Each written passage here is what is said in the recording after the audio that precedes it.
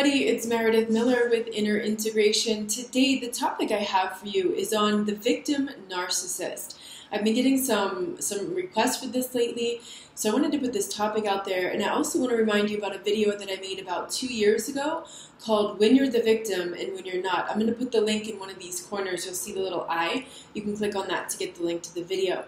So, why is this a complicated topic? Why are a lot of people asking about this? I think there's several reasons. One is sometimes it's difficult to know who the abuser is and who the victim is, particularly the more covert, the more sophisticated the abuser is. That makes things very complicated to see. Also, because of the cognitive bias that we all have. We all have a cognitive bias that shapes the way we perceive the world. So, if you're looking through the lens of feminism, and I'm not saying anything is wrong with that, but hear me out. If you're looking through the lens of feminism, your cognitive bias is going to tell you to immediately believe the woman, which could be very dangerous because I have worked with several male clients who were falsely accused of sexual harass sexual assault, excuse me, of sexual assault among other things by predator females. So your cognitive bias could also really be distorting your perception of who the victim is and who the abuser is. Also, sometimes there's what I call a switch dynamic. This is a term I'm borrowing from the BDSM terminology, where they describe typically one person is more dominant, the other person is more submissive. And in a small percent of cases, they have a switch dynamic where they like to switch between dominant and submissive. In this case, bringing that term switch into the narcissistic abuse realm, what I'm talking about is two cluster B personality disordered people together. And that is the most volatile relationship of all. This could be a combination of a sociopath and a narcissist, of a narcissist and a narcissist. Maybe one's more overt, maybe one's more covert. Maybe they're both the same, they're both covert or they're both overt also could be a psychopath and a borderline. So it could be a combination, a narcissist and a histrionic. So when these two are together, which does happen sometimes, it's not always that a narcissist and an empath, a narcissist and a codependent get together. So that's another caution and another complication too of why sometimes it's not so clear who's the victim and who's the abuser. And also, and perhaps the biggest reason of all, is sometimes the abusers play the victim. Quite often, they will do this when you call them out on something. So, this can be really confusing for the victim. It can also be confusing for the outsiders who are looking in and who are hearing the smear campaign or hearing the abuser's story, and they're not really sure who the victim is and who the abuser is. But even you, as the target, could have been confused at time when that person was playing the victim. So, why do manipulators play the victim? I have five reasons here for you. Maybe I'll leave some out, and if that's the case, be sure to write them below in the comments. So, the first one is they like to use the pity ploy, which is coming in and pulling on the heartstrings of your empathy, which softens you up and allows you to open yourself and kind of feel this empathy or sympathy or even pity for this person. So, often, what I'll hear from clients is they kind of doubt that the person is a narcissist or a psychopath or a sociopath, whatever. They're caught in the cognitive dissonance. They're caught in there because they're thinking, wow, you know, I heard all, all these stories about the ex or about their childhood, like what they went through with their mother or their father or some other outsider who abused them, or maybe they were neglected by their parents. So that's not a past. Remember that most of us were abused as children. That does not give anybody the right to grow up and abuse other people and justify it based on what happened in their childhood. So that's one of the things that they're going to do to kind of soften you up. Uh, to feel bad for them, and also because that gives you this false perception of feeling safe. You know, if you feel like, oh, this person's a really good person, this bad thing happened to them, then you might not understand that this is a very unsafe person to be around. The second reason they play poor me is they're trying to extract narcissistic supply. So they're going to use all kinds of gaslighting maneuvers to somehow, at the end of that conversation, when you're talking about how you feel hurt and how what they did was really hurtful to you, but somehow by the end of that conversation, you're apologizing to them right? How messed up is that? Because they're extracting narcissistic supply from you. Number three is because they need to manage their image. They need to manage their public image. So they want to look good, they want you to look bad. Number four is they want to get something from you. This comes from their sense of entitlement. They feel entitled to your time, energy, money, or other resources. And number five they do it because they want to transfer the burden of their self responsibility onto you or the target. So that's a classic maneuver for them to shift that responsibility to someone else instead of owning the responsibility of their behavior. So, how do you tell who the real victim is and who is playing the victim?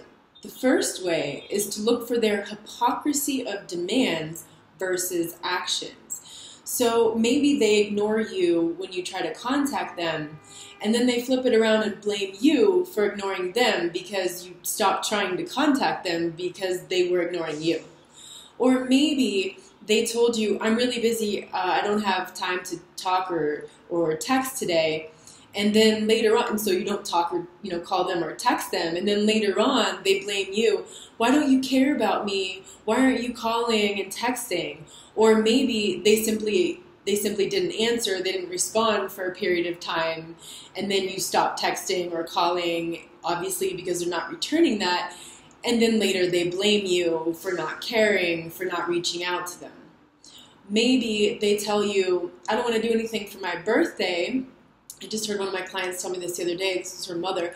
I don't want to do anything for my birthday. And you're like, okay and then you text them or call them on their birthday, and then the day after, the week after, the month after, the year after, they turn it around and blame you for not reading their mind and not realizing that no meant yes, and that they actually wanted you to be insisting on taking them out or doing something for their birthday. That is crazy making. Another way is to look for shaming and guilt tripping little while ago, someone left a comment in one of my YouTube videos shaming me about charging for my services. Like, of all the free content that I put out there and all of my time that I give for free, not enough.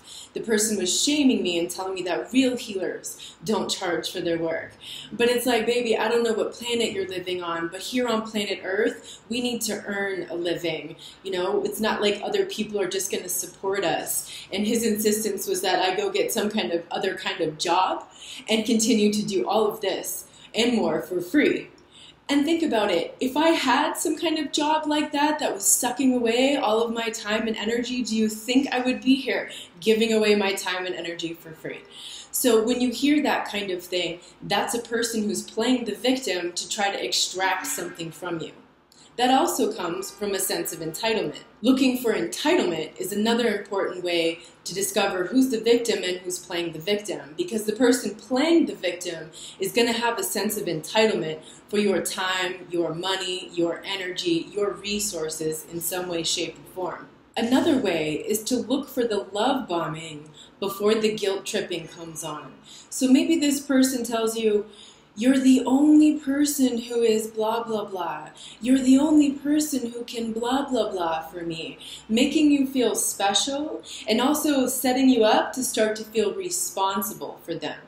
Or maybe they tell you, you're so amazing and compassionate, but that's just a setup for when their demand comes for your time, your energy, your money, you're rescuing them in some way, shape, or form, and you say no and then they blame you and then they take that all away and so if you don't say yes then you're no longer compassionate or amazing Another thing to look for is exaggeration. Maybe the person tells you, I was dying when you stopped talking to me for no reason. Um, but you stopped talking to them, which was actually called no contact, and there actually was a reason. The person just didn't like your reason or didn't see your reason because all they saw was what they wanted, which is for you to rescue them. So they over exaggerated that they were dying when they weren't, in fact, dying at all. Look for a lack of self responsibility. The person playing the victim will expect you to rescue them from their life, from their problems, and quite often from the problem of homelessness. And that's where you'll often find the person who has that parasitic kind of lifestyle where they go from host to host to host. Maybe it's like girlfriend to girlfriend to girlfriend or boyfriend to boyfriend to boyfriend.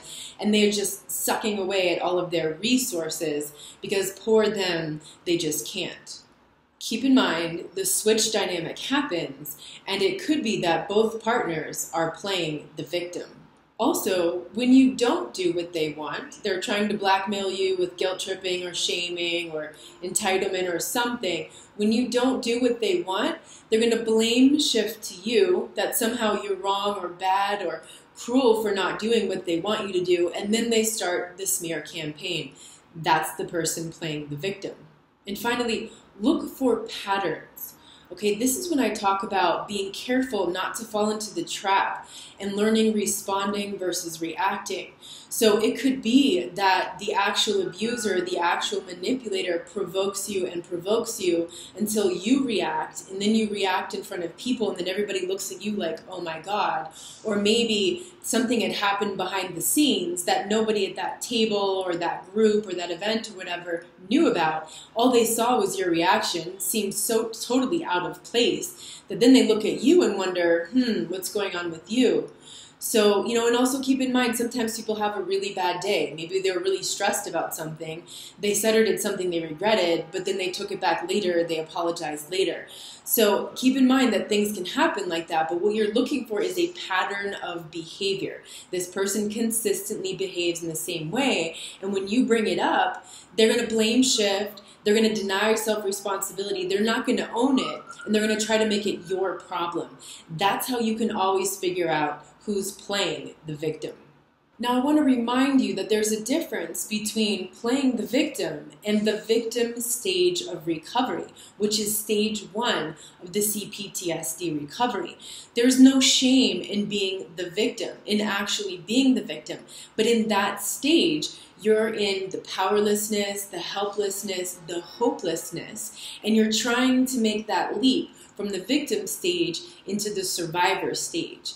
And so that leap takes place when you grab the reins of your destiny in your hands and you empower yourself and you realize you're no longer anyone's victim. You realize you have self responsibility now. It doesn't mean the abuse was your fault, the abuse was not your fault, but it is your responsibility now to take ownership of your life and to heal yourself so that you can move forward and make that jump from that across that first threshold into the second stage and into the survivor stage. You'll find more information about this and how to help yourself get over that first threshold in my book The Journey.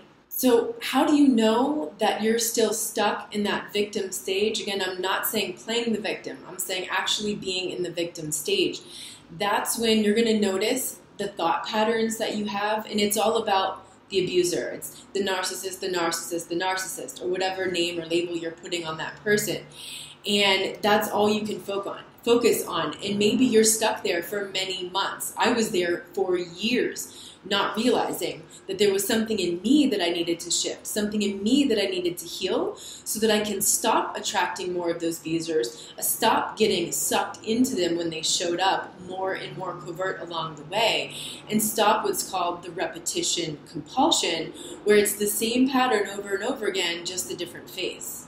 Remember, educating yourself about the narcissist, the sociopath, etc., and narcissistic abuse is an important part of the early stages of the self healing process. You just don't want to get stuck there. Another thing I want to mention, which I also mentioned in my book, The Journey, is called the rescue fantasy that many of us had. This, I believe, is part of the complex PTSD, where it's like you are in that powerlessness, the hopelessness, the helplessness of the victim stage, and you're just praying for someone to come in and rescue you from your life. Now, that is different from the person playing the victim who is expecting others to rescue them from their lives because they will manipulate others into rescuing them from their life. And then, if the people don't rescue them from their life, that's when they're going to lash out, blame shift to them, go on the smear campaign, do all sorts of other things. And be careful because that the rescue fantasy that comes with the complex PTSD can lead to you attracting abusers who are pretending to be saviors. They're pretending to come in to help you with whatever it is that you need. So, in order to have a healthy relationship, you want to work on yourself and make sure that you are meeting all of your needs so that when you meet a new person, when you choose to enter a new relationship, you're going to enter that relationship based on wanting to be with that person, wanting to experience the growth that a relationship will bring into your life versus a point of neediness where you need that person and you become dependent on that person because that is a setup for getting trapped in an abusive situation.